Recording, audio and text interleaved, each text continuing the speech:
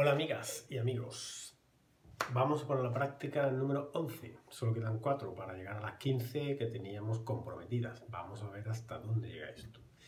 En el ejercicio de hoy vamos a dibujar el edificio castelar de Rafael de la Oce, uno de mis edificios preferidos. Estoy seguro de que le va a encantar a Gaia Redaeli, a Alexandra y a Zaida, especialmente a Alexandra y a Zaida porque están siguiendo el curso dibujando todos los días a piñón. Venga, pues venga, vamos a ello.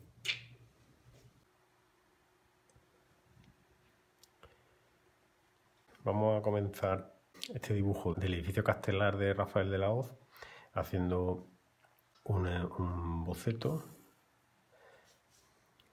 sencillo, eh, cada uno, bueno, que, que haga su boceto pues simplificándolo.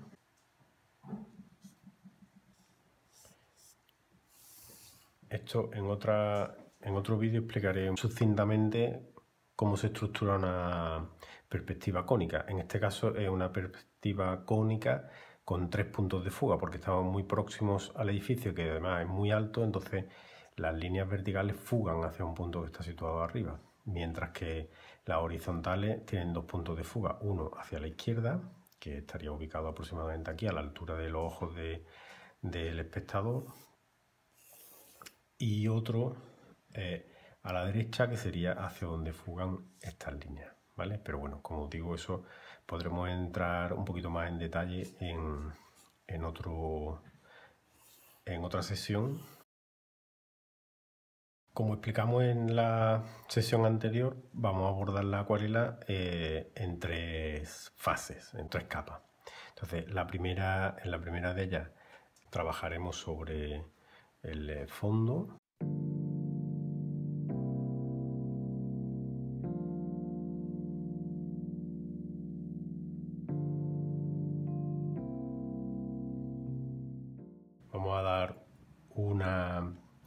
primera capa sin importarnos eh, manchar el edificio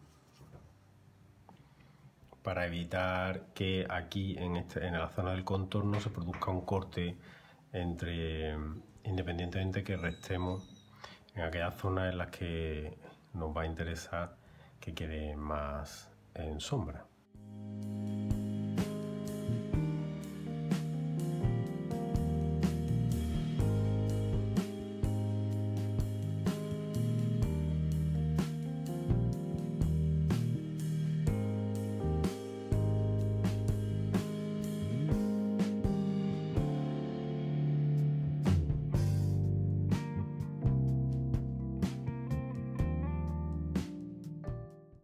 Seguir trabajando este fondo.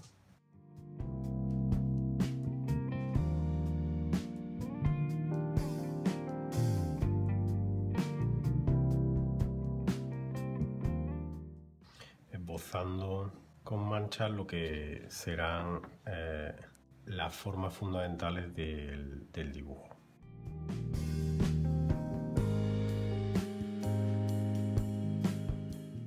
Esta cara del edificio, que es la que está más en luz, pues vamos a tratar de restarle un poquito para asegurarnos que establecemos ese contraste.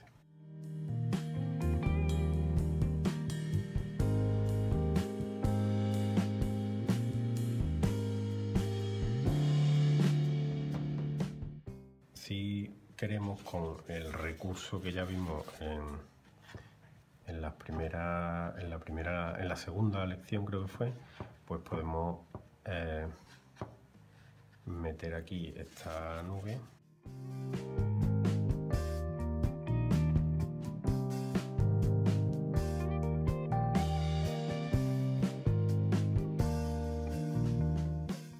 Con esa pincelada que hemos dado de un tono más oscuro y suficiente, ahora enjuagamos el pincel y seguimos trabajando, extendiendo este pigmento que hemos aplicado.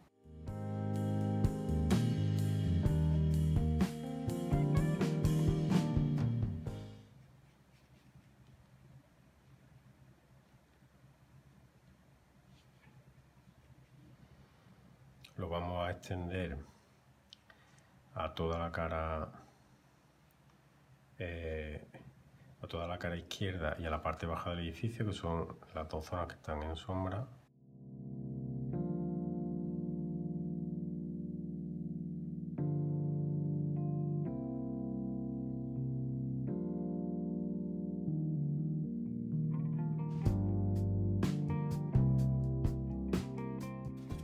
Aquí vamos a eliminar también un poquito de, azul para conseguir que esta arista se nos quede lo más recta posible. Eso, eh, si lo hacemos en cuanto, justo cuando hayamos dado la pincelada, pues se puede retirar bien el pigmento.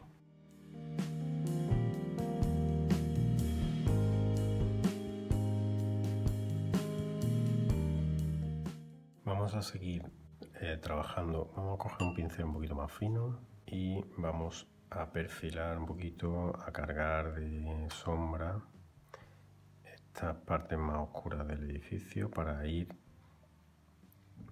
eh, proporcionando ese volumen que vamos buscando.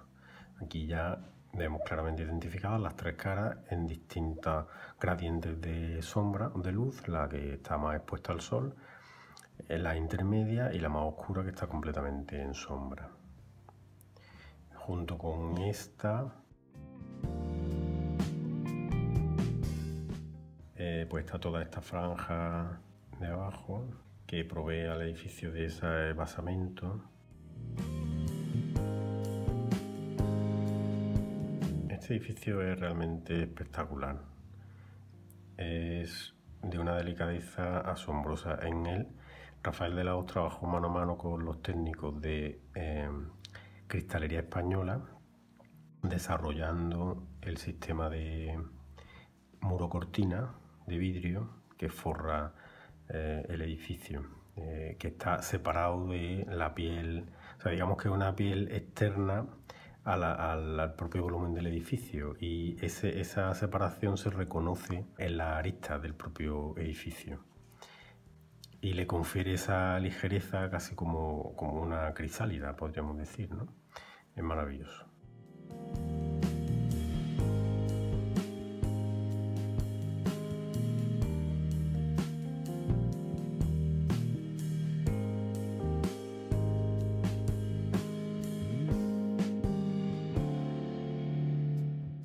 Vamos a seguir aportando algunos detalles aunque en realidad como se trataba de, hacer un pequeño ejercicio sobre volumen e incidencia de la luz, pues bueno, tampoco el resto de detalles nos interesan menos.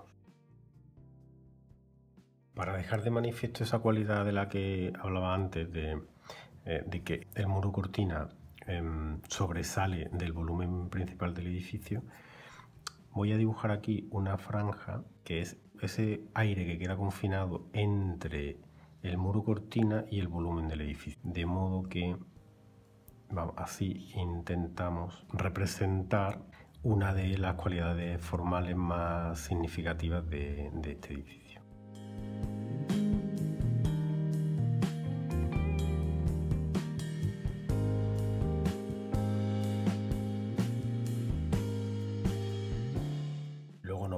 De un pequeño truco para reforzar esa sensación que es cuando ya esté completamente seca la acuarela vamos a darle unos toques con eh, un rotulador 01 para perfilar esa arista e intentar que quede claramente representada esa cualidad.